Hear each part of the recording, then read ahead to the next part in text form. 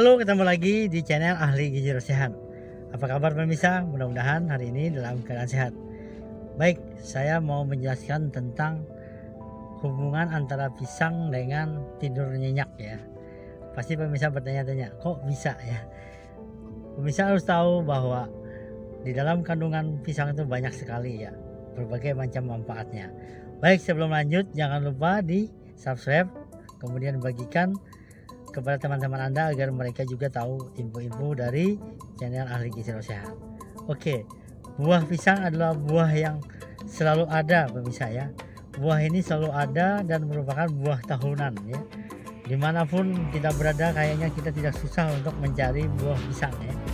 Karena buah pisang itu sangat lezat ya dan bisa kita beli di mana aja di pinggir jalan ya warung-warung ya dan juga di supermarket, minimarket semuanya biasanya menyediakan buah pisang. Nah, apa kaitannya buah pisang dengan tidur kita ya?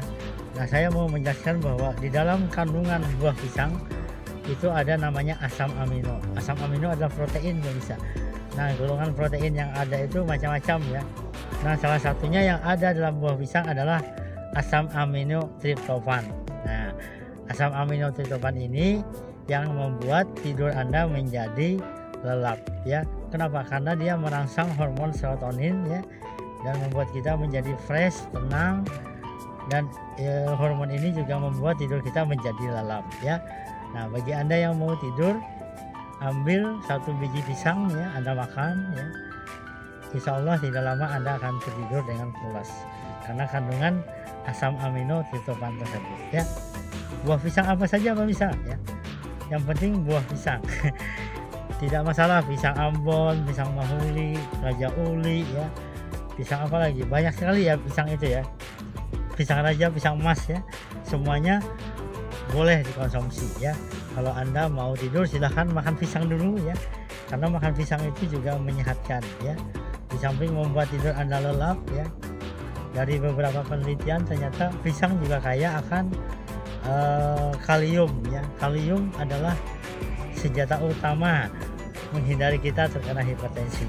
Nah, tidur lelap dan Anda juga terhindar dari hipertensi. Mari rajin mengkonsumsi buah pisang. Dan tidak ada alasan kalau kita nggak suka makan buah pisang karena alasan mahal ya.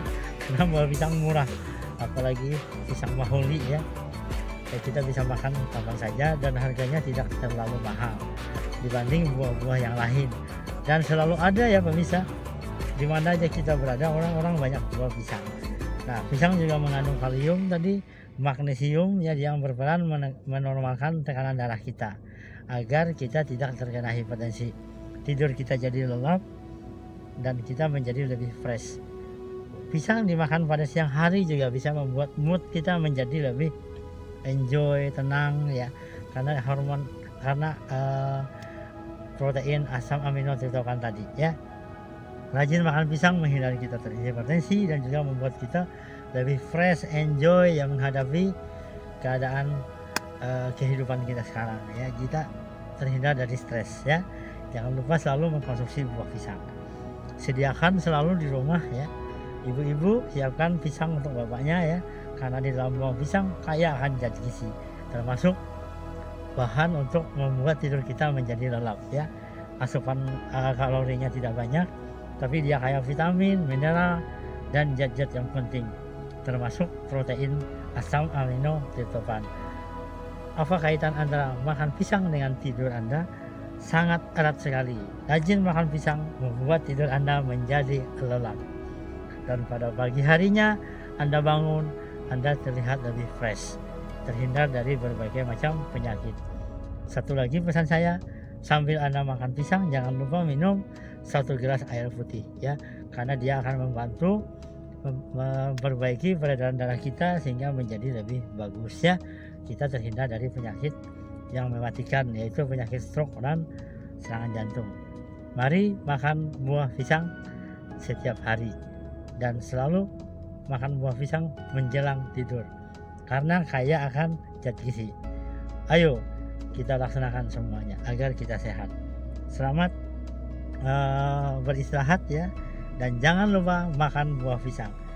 Saya bagikan info-info saya ini kepada teman-teman Anda agar mereka juga mendapatkan info yang lain ya. Berita-berita saya juga dapat mereka ketahui. Terima kasih. Salam Gizi Indonesia. Assalamualaikum warahmatullahi wabarakatuh.